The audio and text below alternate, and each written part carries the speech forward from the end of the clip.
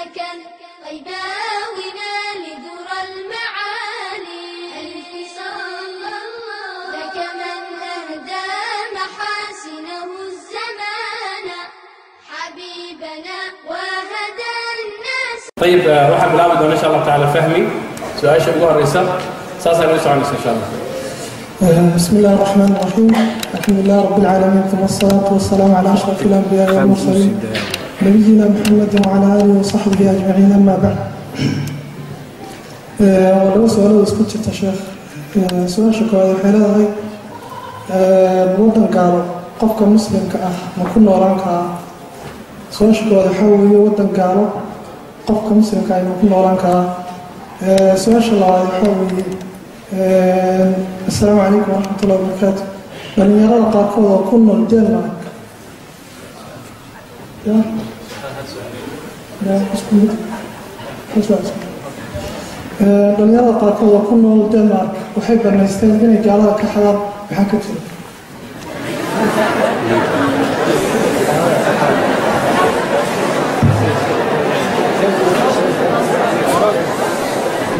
بسم الله الرحمن الرحيم الحمد لله والصلاة والسلام على رسول الله بعد كل قارن وكل مران كرام حفريا مرة قدم على قهر لي culimmadu ay ka hadleen waxba dib ugu laaban maayo haddii ka dhigan insha allahu. Dhul gaalo qofku haddii uu waxbarasho ku haysto aan dhulkii laga helay muslimka ah ama uu maaragtay caafimaad u joogo ama uu diin fidinteed u joogo ama dawro ku khasabtay ay jirto. Nabadgelyo xumo amni daro waxa ku khasbay ay jiraan ku noolaan karaan dhibamada insha allahu. Laakiin waxaa shardi ah inuu diintiisa gudan karo salaada tukan karo soomkii soomi karo oo aan umuurtaa lagu qabsanaynin arrintan ah dhalinyarada qaarkood oo dhamaystay xoolaha gaalada oo runtii waa ayaa darada jirta weeye waxa laga yaaba qaarkii inaad ku qosasheen laakiin wax lagu qoslo maha dhalinyarada qaarkood baa diintii si khaldan loo fahamsiiyey waxaa loo fahamsiiyey gaaladan lala noolyahay ama galbeedkan lagu noolyahay maadaama oo maalan denmark oo kale ciidankii denmark baa wuxuu jooga afghanistan dad buu ku leynayaa muslima saa darteed marka ana muslim baan ahay ballan haddaan la galay ballantii meesha way ka baxday maalkooda iyo naftooda waa ii bannaan yihiin baa dhalinyada qaarkood sidaa wax loogu sheega arrintaas waa arrin aad u khaldan innaga diinteenna waxay qabtaa waxa la tajasul alcahdi in ballantu ay qayb qaybsami karto gaal dad muslima la dagaalamaya inay adigu ballan la geli karto adig micid baa kuu khasabtay inaad denmark timaado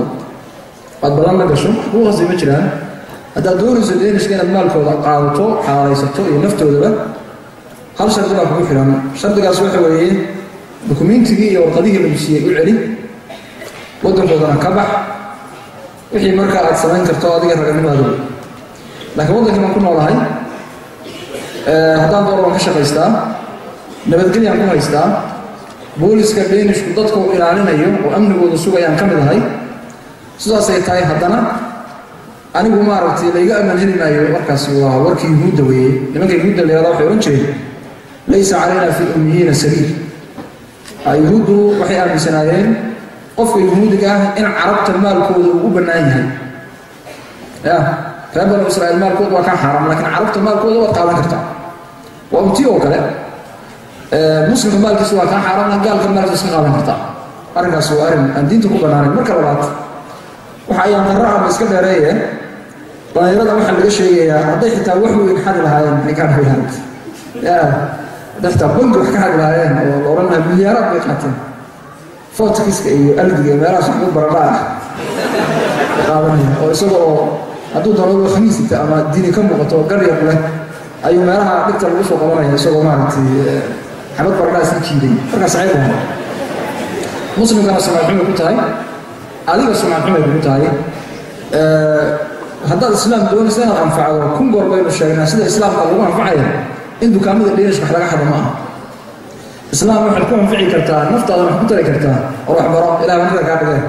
Intaad waxbarato oo shaqaysato oo naftaada iyo ehelkaaga iyo aqaaribtaada iyo dariskaaga iyo axbaabtaada iyo muslim kaleba saas ku anfici karaysa لكن ما راح ينادش قال أنا أنت جود شو هذا؟ ده ترى هذا. أه، سكر كل رجلنا يا حس عبوي دين تلاه راح كفر بوي الله قد كتبنا هذا. قد كواح فدينا يا رب. بل يرد الله وقت سبحانه وتعالى جل بسم الله الرحمن الرحيم. الحمد لله السلام عليكم. بوكو كانس ملن إن الدنيا لو شغيستو بين اخران رشنس اسكيوم اشرو بقانس مل اد رابع هيفت اذن هبان الابع فر النسل سلا حرحيم سواشا محمد مالينا يا أنا يا شعب الرحمن مسكوت قصر الله كبير ماشي صومالي بيا الذي هجر markaa wuxuu yidhi warqadda wixii lagu bilaabay ugu horreeya ciddii ku hadlaysaa iskala wi marka meesha waxaa ku yaalla eh, boggo shanson bellim inaad dunida la daba ordo iyo inaad adduunka meel laga gaaro iyo islaam. Thank you-na ku jirtaa. Meesha saciid maxaa ku almuhim insha allah iyo bilbaacsi insha allah koor. Jazakum allah khayr.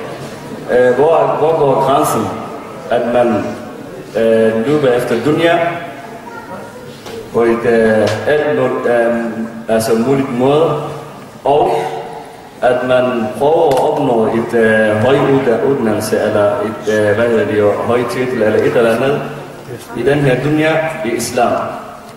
Øh, jeg tror nok, personen har selv kommet ind og, og sige, hvor, hvor ligger grænsen imellem de to ting. At man løber efter dunia uden grænse, uden øh, rammer, uden regler, det er det, der er forbudt i islam. Man skal ikke løbe efter dunia på hvilken måde man vil. Og man skal, øh, man skal ikke løbe efter dunia, uden at man tænker på, hvad er det er halal i dunia, og hvad er haram i dunia. Øh, og det er grænsen, at man skal tænke i dunia, i hver skridt, man tager, om det handler om vores dunia, eller om det handler om vores akhirah. At du skal være en højuddannet person, eller en, der har øh, et højt øh, kvalitet liv i det her verden, det er også, øh, hvad hedder de, det, det hvad hedder de øh, en, øh, der blev øh, forlænget en muslim, fordi en muslim skal være en stærk person, som forsover sig selv, og som forsover sin familie og alle dem, der kommer under ham, øh, under hans eller ansvar. Så det er en del af vores pligter i det her verden, at vi skal være klar og håndtere situationer, de forskellige situationer i den her, i den her verden, men på de rigtige måde, og på de halal måde. Så længe det er halal måde, så er det også øh, noget handlinger, som man kunne forvente og bliver belånet i Yom al selvom det er i dunya. Hvis du tænker på at spise halal, og arbejde halal, og tjene penge i halal, og har de her tanker, for at, at du ikke, øh, hvad hedder det, øh, fred går Allah Azza wa Jal, så alt det du laver, så bliver det øh, øh, en slags god gerninger, der bliver skrevet op hos Allah Azza wa Jal, selvom det er, at du er ude og arbejde øh, det almindelige dagligdag, eller du er ude og lære noget, øh, hvad hedder det, øh, almindelige viden, med hensyn til øh, skoler og universitet eller et eller andet sted, men med hensigt til, at du vil tilfredsgå Allah Azza wa Jal, og du vil bruge de her ting, de viden du vil opnå, for at forsørge dig selv, for at gøre godt, eller noget godt, for at være med til det islamske samfund, til det her verden, hvor, for at være et, et godt billede for islam, så er det også et stort ajar i det. Men så længe det er noget, der handler om halal og haram, så det er uden for grænsen, når du løber efter dunya, uh, uden at du har uh, hensyn til de uh, punkter, som er halal og haram.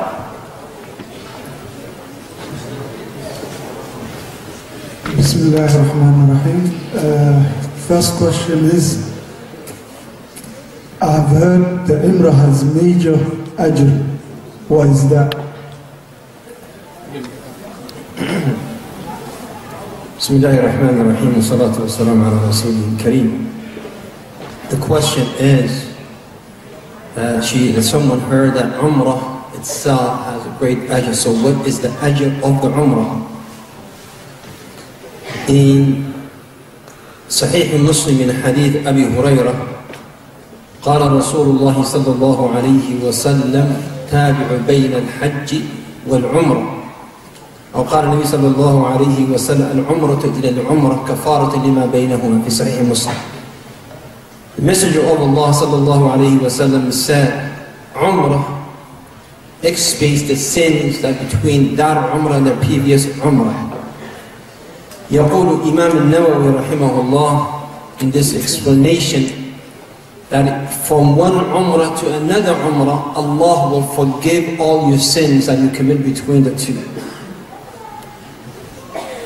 Hadith, another hadith, hadith Abdullah ibn Abbas radiallahu anhu في سنن الترمذي The Messenger of Allah صلى الله عليه وسلم قال تابع بين الحج والعمرة فإنهما ينفيان الفقر والذنوب كما ينفي الكير خبث الحديد The Messenger of Allah صلى الله عليه وسلم said Follow Umrah and Hajj with another Umrah and Hajj Indeed they expiate the sin of the individual like the kir, like the fire cleans and purifies the metal that has a rust Al-Mubarak Furi, rahimahullah, he said, it means al-faqr when comes in uh, the, also the hadith, the benefit of the hadith, he said, it also removes or takes away poverty.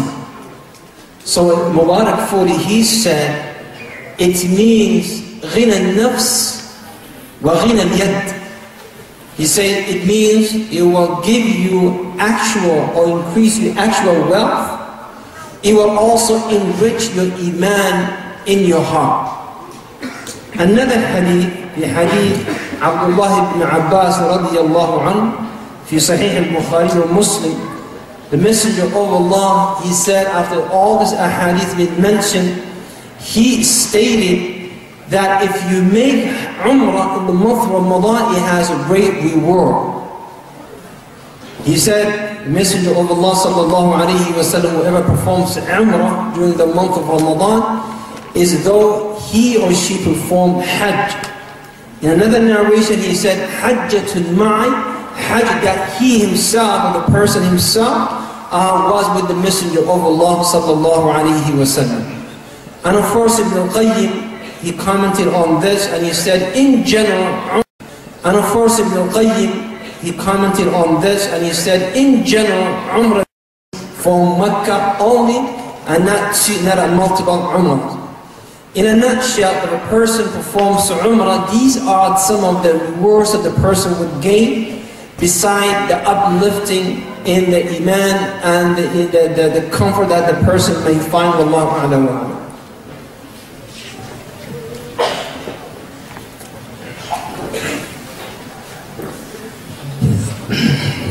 bismillah.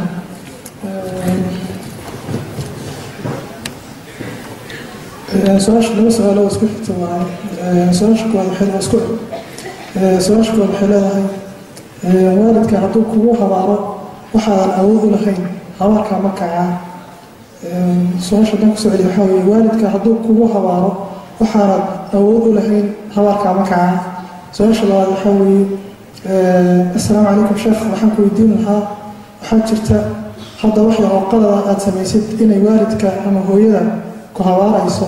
Weliba waa habaar joogto ah.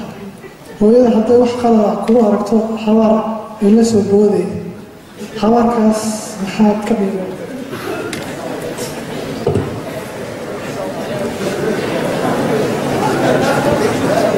bismi raxmaan raxiim waalidka xaq weyn buu leeyahay in la ateecaa loo baahan yahay in la raalligeliyaa loo baahan yahay. Ilaahay raalligelintiisu waxay ku xidhan tahay la raalligeliyo an ishkur lii waliwaalidayka ilaya almasiir waqadaa rabuka anlaa tacbuduu ilaa iyaahu wabilwaalidayni ixsaana yacni waalidka waa laynoo dardaarmay. Wasayna linsaana biwaalidayhi xusna. Waalidka in loo wanaag sameeyo waa shay waajib ah. In lagu caaqilnimo sameeyana waxyaalaha naarta lagu galoobay inaad dadaashaa lagaga baahan yahay intii adiga karaamkaaga iyo taabalkaaga waxba aadan la hadhin oo wax waalidka kugu cadhoon karo ama kugu habaari karo ama kugu hiifi karo inaad ka fogaato. Waayo waxa isweydiin leh. Maxaa ka keenaya waalidka habaarka? Waalidku iskama habaartamo inta badan. Maxaa habaarka keenaya? Ee laga yaaba inaad adigu xaqiisii aad ku gabadfashay oo sidii la rabay si aana inaad u dhaqantay had iyo goor markay arrinta noqoto waalid iyo waladkiis wax ka dhexeeya inta badan garta waxa iskale waa waalidka inta badan waxa garta iskale waalidka waxaanse odhan lahaa hooyooyinka iyo aabayaashaba ee habaarku waxama soo kordhiyo. Lagana yaabee in ducadaba la aqbalo aada ilmahaaga habaarto. Oo adigu aad waxba uga jeedin laakiin in lagu aqbalaaba laga yaabaa habaarkaa la iska yareeyo. Xama keena habaarku sharcun buu keenaa. Khayr ma keeno ducada waalidku ma kacaysa hadduu iga gardaran yahay qof maaragtay gardaran ducadiisu ma kacay laakiin waxaa isweydiin leh inuu kaa gardaran yahay tolow yaa caddayn kara laga yaabo adigu inaad u haysato inaanu kaa gardarnayn oo waxaan xaq kugu lahayn laakiin ay suurtagalta inuu xaq kugu leeyahay kugu gar leeyahay saa darteed xaqa waalidka dhanaya la iska ilaaliyo oo dhaqanka meelahan yaan la qaadan waalidku qof caadi ah ma aha waa jannadaadii iyo naartaadii صلاة عليه صوم كاريه صدقة عليه الحين معناها صلاه ما يرد الوالد هذا ارجع له الوالد الوالد كعريسين هاي. سكري في صلاة يا صدقة. روح معناها صلاه يا بنت. هاي اللي هو في النبي عليه الصلاة والسلام. هي هو ان ارت لو قرا ممكن دي حقوق الوالدين كا. جنده لا يكون جبت تحت أقدام الوالد الوالد كان لقد قال الوالد كنا الوالد هو طول ايمهيسا أو هو دعيه انت ما بعرف لا هو دعيه إن شاء الله. جزاكم الله. خير السلام عليكم. أري أري حرام أتفو اسمه لما ليو هم أتفو إلينا. فأري حرام كنا ترجع لما باش لما أتفو إلينا. أكرم هو فنومي اسمه نعم، لما أتفو إلينا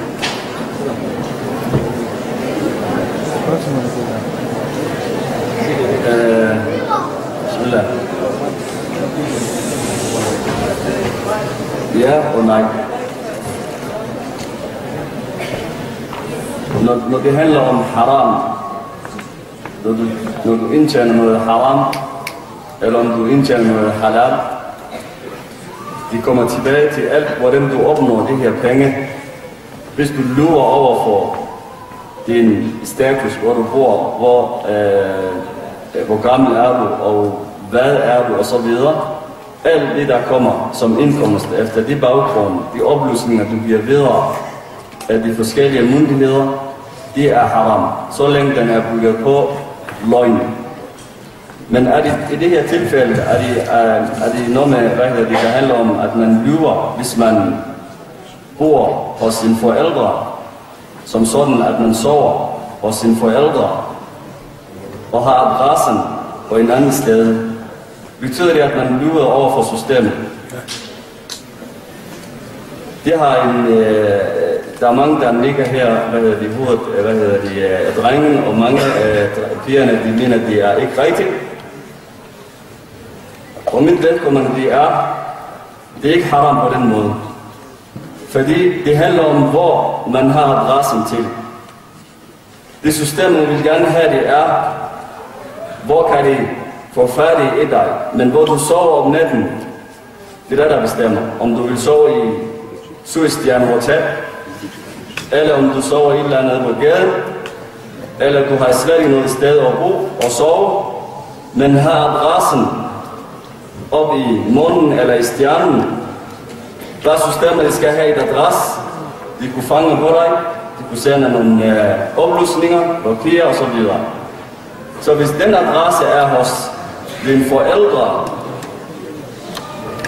og du stadigvæk lurer over for systemet den første måned og den anden måned og siger, at jeg, jeg bor ikke sammen med mine forældre, jeg er alene, altså unge udborgerne, og så får du penge på det baggrund, altså på de oplysninger, du giver videre, men du stadigvæk har adressen hos dine forældre, så alt det ekstra penge, som du får, det er haram. Fordi du har indtjent på en øh, øh løgn oplysning, og det er haram. Men selve SU er det, er det haram. Hvis det er SU bliver haram, så hvis den er også haram. Hvis SU er haram, så øh, boligsikring er haram. Hvis SU er haram, så børnebidrag er haram. Fordi alt det her, det er noget betaling, man får af systemet. Det skal man tænke på. Man skal ikke snyde systemet her. Man skal ikke spille smart. Man skal ikke tro på, at man, man skal, hvad hedder de, sætte ting, plus og minus, og så bagefter man skulle vente til slutningen af året, så måske skatten vil øh, kræve tilbagebetaling, så alhamdulillah, så jeg betaler øh, afdragsordning. Nej, det, det, det duer ikke. Altså, så længe du spiser noget haram, som du har indtjent på en øh, løgn oplysning, det er haram. Men jeg vil kort sige til pigerne, I skal ikke flytte hjemmefra, fordi I skal have mere penge. På samme måde vil jeg også sige til drengene, at de skal ikke flytte hjemmefra, på grund af, at de skulle tjene mere penge. Prøv at tænke, hvor meget er i mellemrummet. Hvor meget får du, når du er væk fra dine forældre? Det starter med, at du får en adresse hos en, og så er alle dine oplysninger er væk.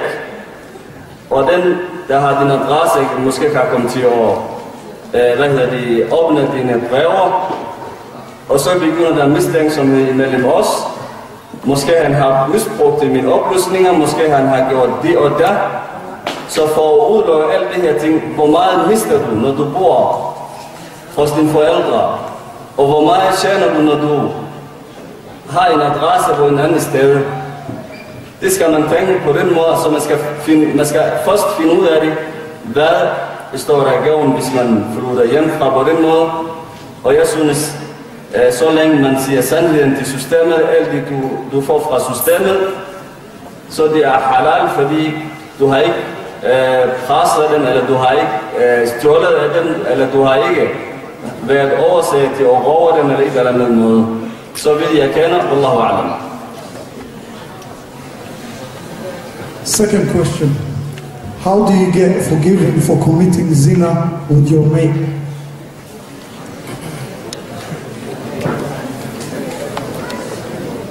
Before I answer the question, I just want to state something, some fact in the Quran and in the Sunnah, because right now we are at a point, based on the question, that the person already did the sin. See, Allah subhanahu wa ta'ala in the Quran, He never said, do not commit zina. Rather, Allah said, do not be near zina. It's the same command that Allah gave to Adam alayhi salatu wasalam when he said, and Allah subhanahu wa ta'ala said, do whatever you want to do. وَلَقَدْ عَهِدْنَا إِلَىٰ آدَمَ مِنْ قَبْلِ Allah subhanahu wa ta'ala, we gave Adam a covenant. And then Allah said, وَلَمْ نَجِدْ لَهُ عَزْمًا He was not strong enough. And then Allah said, in the surah, وَلَا تَقْرَبَ هَذِهِ الشَّجَرَةِ Do not be near this shajar, this tree. Same message came from Allah concerning the adultery. Allah يقول in Surah Al-Isra ولا تقربوا الزنا إنه كان فاحشة وساء سبيلا In Surah Al-An'am ولا تقربوا الفواحش ما ظهر منها وما بطن يعني all of them Allah is saying do not be near adultery do not be near zina why إنها إنه كان فاحشة it is an evil thing وَسَاءَ السَّبِيلَ and it will divert you from the path of Allah subhanahu wa ta'ala. In another ayah, Allah says, do not be near in Surah Al-An'am. But at the same time, people commit zina in a different level. And some of us, all of us, and by the way, do not take this personal, but every one of us commit a zina in one way or another. Because the Messenger of Allah said, كما في صحيح البخاري ومسلم كتب لابن آدم حظه من الزنا مدرك ذلك لا محال منه العين تزني وزناها النظر اليد تزني وزناها البطش والرجل الرجل أو الأذن تزني وزناها السمع اليد تزني وزناها البطش الرجل يزني وزناها الخطى والفرج يصدق ذلك أو يكذب He said each one of us will commit zina and there is no way about it. There is no way about it. And he said, then your eyes will commit zina, and the zina of the eyes is looking. And the ears will commit a zina. The zina of the ears is hearing things. And the hand will commit a zina. The zina of the hand is touching. And the feet will commit zina. And the, the zina of the feet is walking. And then he said the private part will confirm that or deny it. So everybody has a different level of zina. But at the same time, the question, how can we come back from it? When Allah mentioned the sin, the time of sins that people commit in Surah Al-Furqan, End of the surah, إِلَّا مَنْ تاب وآمن وعمل عمل وعمل عملا صالحا فأولئك يتوب subhanahu wa ta'ala said except those who return who believe and do good deeds then Allah ta'ala he said يبدل سيئاتهم حسنات then Allah will turn their evil deeds with good deeds وكان الله غفورا رحيما which means if you commit a sin if you commit a sin not necessarily zina sin and you repent, let us say the person committed 200,000 sins, and you repent to Allah, Allah will change those 200,000 sins into 200,000 good deeds. All of them will change good, good deeds. And a hadith, Nabi sallallahu alayhi wa sallam said, on the day of Yawm al-Qiyamah, people will wish if they committed more sins. Because when they see that Allah has accepted their tawbah, and then Allah changed their evil deeds into good deeds. So what I would say is, number one, let us take the precaution, which is وَلَا تَقْرَبُوا الزِّنَا Do not be near zina, which means do not talk, do not meet, do not hold hands, do not do anything because all this will lead you to zina. Secondly, if you already did this, and we all are guilty, as the hadith said, in one way or another, in different levels, zin al-ayn, zin al-udn, then in this case, the person must repent to Allah subhanahu wa ta'ala, and Allah will accept the repentance of that person, regardless of what the person did, as long he is not uh, the time was on, on his breath, uh, death bed, or until the sun rises from the west. Wallahu a'la wa a'lam. Jazakallah. Bismillah. su'aalooyin guur ku saabsan lahaa sheekh su'aasha kulaad waxay leedahay. Assalaamu calaykum sheekh waxaan ku weydiinayaa nin shiica ah ma la guursan karaa oo yani nin aan sunnahayn nin shiica ma la guursan karaa oo sunnahayn su'aalooyin guur ku saabsan lahaa sheekh su'aasha kulaad waxay leedahay. Assalaamu calaykum sheekh waxaan ku weydiinayaa nin shiica ah ma la guursan karaa oo yani nin aan sunnahayn nin shiica ma la guursan karaa oo sunnahayn آه، سؤالك على واحد مدينة حريفة يعلمها لكن آه، شكرا سبحانه سكو حرنتاي السلام عليكم ورحمة الله وبركاته شيخ من الأقول هي إن الله هذا الترقسا أو ما داش داش لكن حوفا من معانا نعتاد هذا الترقسا آه، معانا لنا مقابر قبين لكن هذا الشيكي ستان أو تعاشا هاي. معناها هنا تلاهي بسكاب سويت مهاني في روح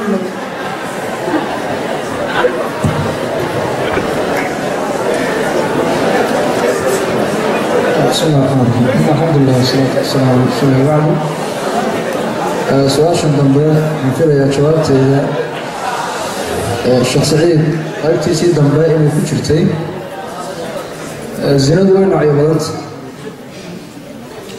eh, ishu way sinaysataa dhagtu way sinaysataa gacantu way sinaysataa zinadu keliya maaha faaxishad weyneyd qur'aanka aada hadda laynoo sharxaya walaa taqrabu zina inaan loo dhawaanin zinada waxaa looga jeedaa waxa alliyaal wixii sababi kara in laga fogaado. Laba qof aan isqabin oo waan ku jeclahay iyo xabiibi iyo iskaal iyo iswiidi waxay sirin maxaa dhiman? Waxaa sax maaha laga fogaado dhaqankaas dhaqan hagaagsan maaha. Ninkii guur doonayaa waa inuu waddadii soo maro oo gabadha iyo reerka weydiisto. Gabadha la guursanayaana waa inay iska eegto ninka akhlaaqiyaadkiisa iyo aadaabtiisa iyo habdhaqankiisa laakiin sheeka baraleydatan alla iska ilaaliyo. Weliba gabdhaha waxaan ku waaninayaa ragga ay ku badan tahay annaga nimanahoo ragga naqaare ragga ay ku badan tahay sheekadaas xiisaha leh macaan. Inta badan dad guur ujeeda uma badna waa nin iska wakti lumis iyo halwaso ujeeda weeye iyo idan khiyaamaynin ka fogaada. Ninka guurkaa doonayaa ee ku rabaa wuu garanayaa waddada kuu soo mari karo. Aabbaha buu kuu soo mari karaa adeerkaa buu kuu soo mari karaa buu tegi karaa. Maxaa kalifiga taleefonka faraha badan iyo waxaan lagu sheekaysto. Waa iska khiyaaraad weeye ka fogaada insha allahu tacaala.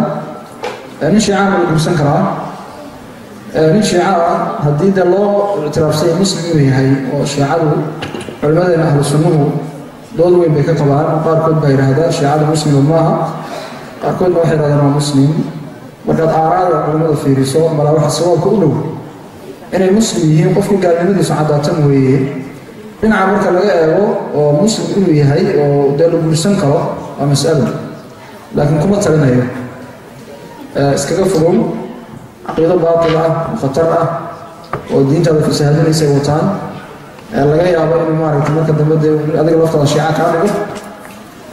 Iskaga fogow sunnadii baa badan insha allah Ah, soomaali baan nahay ilahay baa naga dhigay maxaaba nin shiica iyo maaragtay eh, howlaha la keenay eh, laga fogaado insha allahu tacaala saas baan ku talinaya jasaakum allah khayr eh, Bismillahirrahmanirrahim. Jeg har også to spørgsmål her, som jeg har lagt sammen. Hvis jeg læser op den første, så siger den, jeg er blevet forelsket i min ven, som faktisk sidder her i dag. Og øh, jeg ved ikke, hvad jeg skal gøre. Kan du give mig nogle gode råd om, om jeg skal lade ham være, eller om jeg skal fortælle ham det? Det næste spørgsmål lyder, Øh, det næste spørgsmål lyder næsten det samme. Der står, jeg bliver forelsket i en chef her. Og, øh, og han ser mig som ingenting. Hvad skal jeg gøre for at få hans opmærksomhed? Fordi han kender mig godt hjemmefra, og det kvarter, vi bor i. Og jeg vil have ham på en halal måde.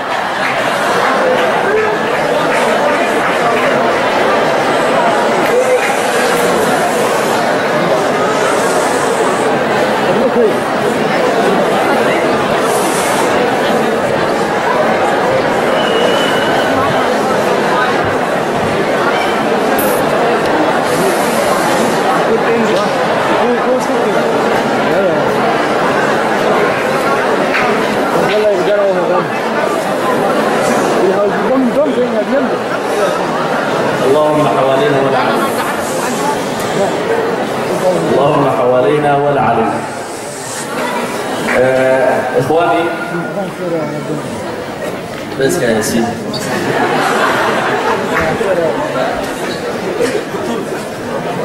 Øh, for det første vil jeg sige, inshallah, hvor jeg beder Allah Azza wa Jal, at øh, Allah må vende den mands øh, hjerte til den pige, så han kunne blive gift med hende, inshallah.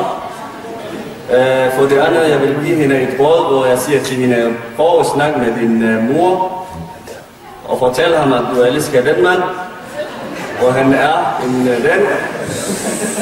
Og øh, så må du lytte, hvad hun øh, vil sige til dig, inshallah. Sikkert hun vil give dig en god råd, inshallah. Og hvis du er bange for din mor og snakke med hende om det her, så vil jeg også gerne sige til dig, prøv at snakke med en af dine veninder, øh, som du stoler på hende, på hende, og bed hende om, at hun skulle ikke nævne øh, over for ham, altså dit navn. Og så må veninden spørge ham, manden der, eller chefen der, om han er interesseret i at blive gift, hvis han har en kone, om han er interesseret i at blive gift med nummer to. Hvis han har to, om han er interesseret i at blive gift med nummer tre. Hvis han har tre, om han er villig til at blive gift med nummer fire. Og hun skal ikke nævne dit navn. Det skal hun love dig. Så kan du finde ud af det, om maskinen der, om man har evnen til du kan, det kan godt være, at du siger ham, at han er sød og rar og er en stor chef og har stor ilm. Men i det sidste, at han er måske ikke nok i forhold til dig, når han kommer som en mand hjem hos dig.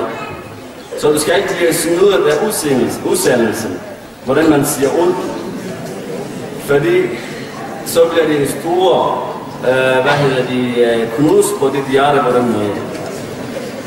فدي الله سبحانه وتعالى سيد وفات هذا السلام إن الله لا ينظر إلى صوركم ولا إلى أجسامكم ولكن ينظر إلى ما في قلوبكم أو كما قال عليه الصلاة والسلام. الله سبحانه وتعالى بليكي ويسكوسي الله بليكي ويسكوب ومي مشكلته وفولك العائل Allah subhanahu wa ta'ala vil, vil kun kigge i jeres hjerte, hvad I har i jeres hjerte. Om den er noget tilfredsgående Allah azza wa jal, så vil jeg sige til enhver pige, at du skal ikke blive snydt af udseende. Øh, det er det råd, jeg vil gerne sige til øh, den søster, inshallah. og Jeg håber, Allah subhanahu wa ta'ala vil øh, vejlede hende, inshallah. Prøv at huske at lave salat al-istikhara. Men vær altid væk fra at sige, eller stå frem foran en mand, som du ikke ved, hvad han vil sige eller svare over for dig. Og så kommer og, og, og at komme et eller andet, en anden øh, genvej, så er du beskyttet, inshallah, på den måde. Men, øh, men der var sådan lidt tilføjelse øh, til, hvad hedder det, øh, til det spørgsmål, som handler om øh, SO, Fordi der er en, der har skrevet her. Nu har der været øh, en undersøgelse, hvor de tjekker om, hvor, det, man bruger på adressen, man har oplyst, og på grund af manglende bevis på, at man bor der, har jeg fået en, en uh, bud på 27.000. Skal jeg så ikke betale den regning? Selvfølgelig betaler du den regning. uh, fordi det er, uh, hvad hedder det, uh, noget som øh, regeringen eller systemet forlænger det, og det skal man overholde. Men hvis du er utilfreds med det, så er der øh, hvad hedder øh, hvad hedder muligheder for, at du rejser en retssag imod den her. Og imens du betaler det, hvis du får altså hvis du får i sagen, så får du pengene tilbage, plus øh, tilbageholdelsen af de penge, inshallah. Men hvis du taber det, så har du betalt uden at der kommer noget rente på det. Så prøv at indgå en aftale med øh, systemet og finde ud af det, hvordan du kunne betale de her penge. Men om den her undersøgelse er det rigtigt, som øh, personen øh, fortæller det, er det fordi, at uh, man oplyste en adresse, en adresse, hvor der er flere i forvejen. De kan godt uh, rejse nogle uh, mistanker hos uh, systemet, og så de kan godt begynde at undersøge det. Men at man bor eller har adresse på et lovligt sted, så tror jeg ikke, at det her øh, uh, undersøgelse det kunne være noget til det. Men Allahu Alam, så ved jeg kender i systemet, det var lang tid, jeg har arbejdet som tolk, og øh, reglerne de skifter sig hele tiden, men den, den gang jeg var tolk og har læst noget af de SU-regler, det er, øh, hvad hedder det, obligatorisk, at man oplyser adresse, så man kunne få øh, udbetalt af sin øh, SU. Men om, om man bor der og sover der og har sine ting der, om det er en krav, det har jeg ikke set. Okay, um, fifth question, actually third question. If you wear tight clothes, then you get enough.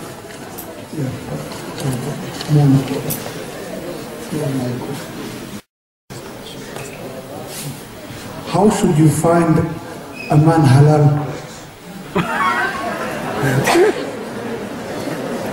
The sisters are asking how, and I insist ask that question to be asked. How could sisters find a halal husband? I don't know about your sisters, but they're sitting right here. They're not too far away from you, and you're not too far away from them. And I'm just kidding, by the way, on that one. Don't think that you can go out and grab the brothers from outside. but in reality, I know all the shiur, all the speakers, they will tell you you cannot talk to girls. Girls cannot talk to boys. But at the same time, you have to get married. And you gotta do something about this. So how are you gonna do and how are you gonna go about this? We asking you not to commit zina, not to contact them, not, for them not to contact you, but at the same time, there are no facilities as available for most of the people. I know it's difficult to find someone, especially when you're living in a society where dating is very normal and acceptable. To date someone is, a, is the norm. And they keep telling you every other day You know, how are you going to find someone that is suitable and compatible if you don't date the person? And then the masajid and the ulama will tell you, do not date, just get married. But at the same time, there's no system. I think in every city, in every community, they should have a system. The masajid should have a system. Um, the, uh, the community, Somali community or Pakistani community, they should have systems. The traditional way is your mothers, your sisters to find a wife for you. But nowadays, if the sister says to her mother or to her father, find me a husband, right? It's ad, it's taboo. The sister cannot do this. So what do you expect? How do you expect her to get married? So I will say to the imams, to the leaders of the community, facilitate. Like in my masjid, we have sisters come to the masjid. And the sister will say, they don't have even come, they email and they say, I'm looking for a brother with these qualities. And this is who I am, and this is what I am all about. And then the imam or the masjid, the committee of the masjid, will also filter the list of the brothers that are coming forward and say, I'm looking for such, such, such sister. And then they will create the match between the two. If this is the only way, that if the family is not helping, if the mother is not helping, if the father is not helping, if the friends our friends are not helping, then this is one way to do about. And Jazakallah for saying halal man, it sounds like halal meat, but it, you should find someone like that. And you have the brothers inshallah here and they should help you with them. Jazakallah. Jazakallah.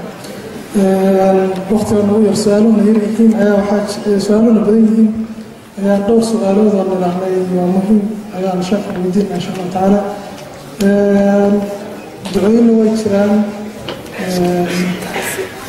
Insha allah hadda waa qaban su'aashan waxay leedahay?